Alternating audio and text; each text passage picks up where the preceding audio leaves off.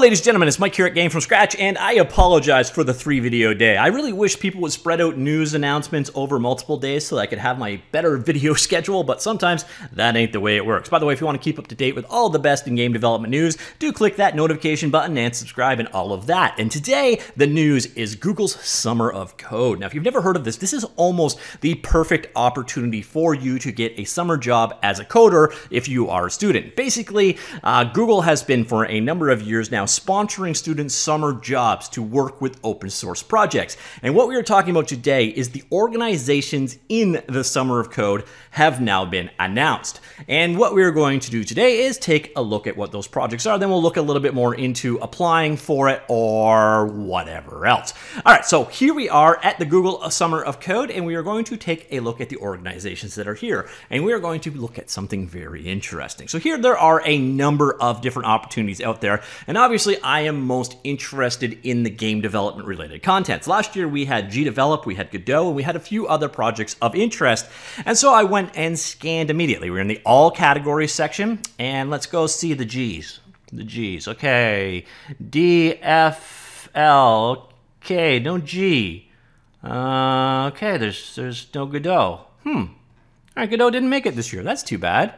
So let's go here. We'll take a look at some of the categories. Let's look in the graphics category. Hey, there's Godot. So I don't know what's going on there. Inkscape didn't show up either. So basically, it does look like they're all categories category is broken. Uh, so if you want to drill in, kind of dig through what's in here, you're going to want to kind of jump into the individual categories because that's why you're not finding everybody for some strange reason. So now what we're looking at is specifically the graphics, video, audio, and virtual reality category. This is probably the area most of the people behind this channel are going to be most interested in.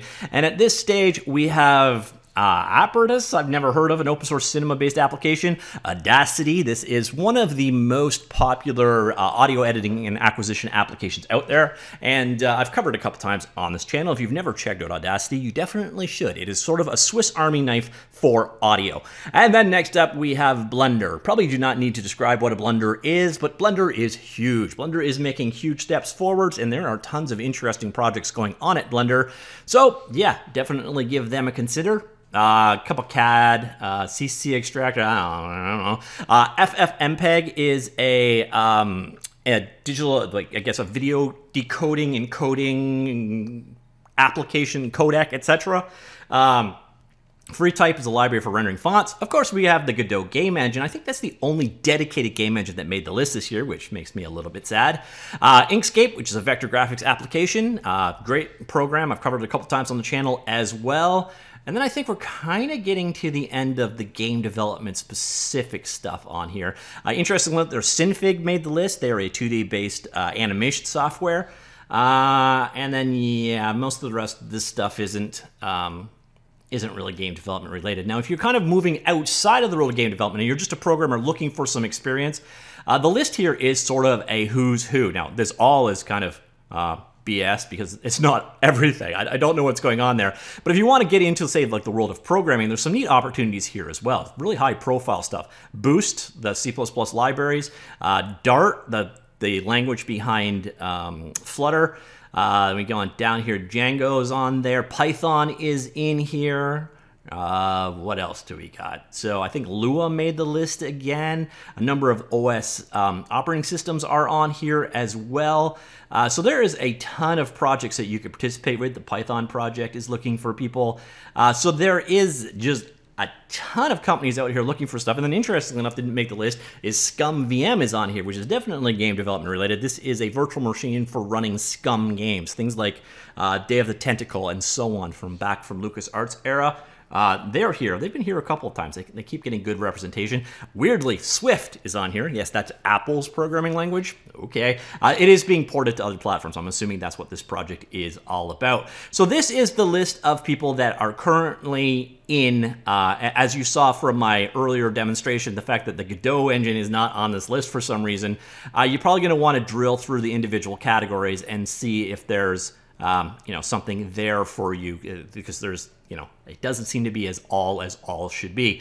So those are the people out there. Anything you're particularly interested in learning a bit more about. By the way, you can also come up here, and if you do search for Godot in this situation, uh, you can drill into there and get a little bit more details about what that particular uh, technology is about. Going forward, we'll get a number of different uh, pitches uh, or of what they could work on for a project. This is kind of a multi-step process. So, oh, look, and when you search for it, then it shows up. This is insane. It's got to be a bug.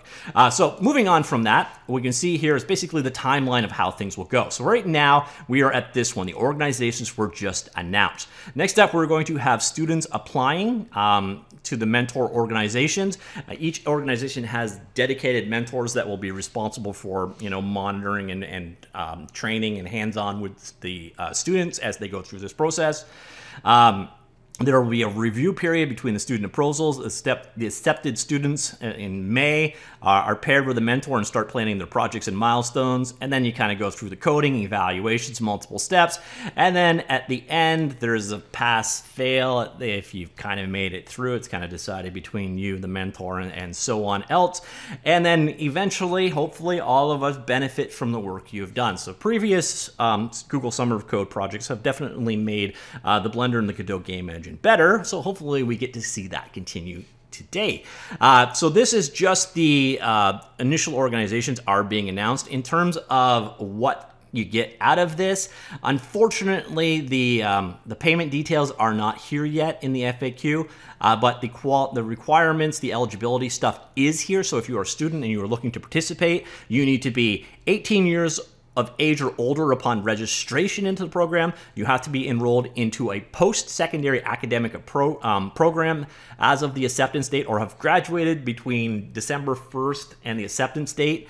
Uh, for the duration of the program, be eligible to work in the country in which they reside. So you, you are doing remote work. You don't have to come to the U.S. or anything like that, or the company where the the host is. You, you have to be able just eligible to work in your own country and not be an organization administrator or a mentor in the program. So you're not allowed to double dip in that case. In terms of people who are not allowed in, uh, residents of embargoed countries, so that would be um, North Korea, uh, I think Iran, still a few other countries like that. Uh, ordinary residents in the United Ordinary resident in a U.S. embargoed country, What's the difference here? A resident of a United States embargoed country or an ordinary resident in a United States embargoed country? I, someone in the comments, please tell me why they needed to have these both here, uh, or otherwise prohibited by export um, applicable export controls and sanctions programs. Um, this will probably overlap with these other two as well. So certain things like you can't export encryption algorithms to enemy countries, that kind of stuff. Uh, you can't be an employee of Google or its affiliates or an organization and they are an employee, contractor, officer, or director of an organization or any of its affiliates. I have to feel like that is missing a word or two. And you can't be the immediate family member of a mentor organization and so on. So no nepotism going on here. Um, and you cannot have previously participated as a student in um, a Google Summer of Code uh, two or more times. So you can do this twice, but that is it. Uh, so if you are interested, you're going to need to uh, supply these things on the whole. Uh, this is, again, a bit of a multi-part process, but these are the companies, at least these are the companies that I can currently find with the search engine, that are looking for students for the Google Summer of Code. So to put it in the simplest TLDR version possible, if you're a summer student looking for a job, you want to contribute to an open source project, you can get into this. These are the companies that are looking, uh, they have mentors available. There's going to be a number of projects available. You can pitch a project to them. If they like you, they'll pick you up. You work in the summer and you get paid. Again, previous years, the amount you get paid is tied to the cost of living in your region. And it seemed to be about three grand in cheaper countries, six grand in uh, the United States. So that is uh, the Google Summer of Code. Let me know what you think. Comments down below, and I'll talk to you all later. Goodbye.